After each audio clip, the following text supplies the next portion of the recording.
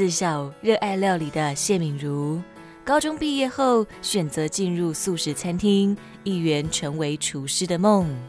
从学徒一路走来，花费十年光阴，琢磨如何做好一道料理。从食材选用、烹调手法到摆盘呈现，扎实的基本功更为他往后的料理研发之路奠下根基。家里因为宗教的关系而吃素，直到踏入了素食餐饮业，一转眼都就是十年的时间。一直到二零一八年的时候，我大家在想说，市面上的素食食品，即食的部分能提供的并不多。于是我有一个念头，想说以自己的十年的厨艺学以致用，然后研发一些即时的素食产品，造福一些素食的社群。谢敏如的启蒙老师出版了当时蔚为少见的素食食谱，给了他不同的启发，改以层次丰富的调味与新鲜蔬果入菜，强调健康也兼具美味。更将这份理念延续到产品的开发上。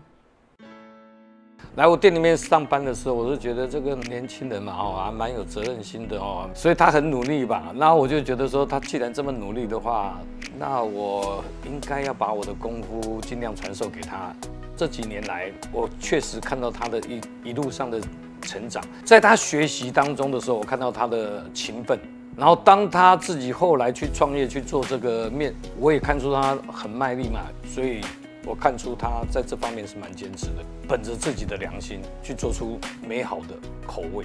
研发过程中跳脱中式的烹调方式，口味上加入焙煎胡麻、椰浆咖喱等异国风味汤头，水饺中则包入植物肉，也创新以韩式杂菜作为馅料。增添口感层次，却不失舒适的清爽口味。在我还是学徒的时候，我的岳父给我很大的启发，这让我在往后研发的路上不受于食材跟地区限制。我们不会去跟风，譬如说市面上很多会一家出麻辣鸭血，然后其他家就跟风一起出麻辣鸭血，反而我们选用一些比较自然的食材。例如，我们用那个韩式杂菜，然后用我们选用那个韩式冬粉，它的质地会比较任性一点，不会说一煮就软软的。从家中常备的简易料理作为发想，谢敏如将平凡而简单的幸福体现于每一口美味中。水饺馅料采用植物肉作为底料，提供更多蛋白质。如同煮给自家人的料理，希望借此将素食料理的美好传递给更多人。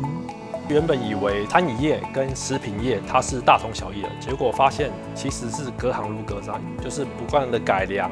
突破。这当中其实好几次想放弃，但是在家人的鼓励之下，我还是坚持了下来。我的愿望是，就是希望我的产品能够拓展到全世界。让一些不是吃素食的人也会觉得我的产品也是很好吃的。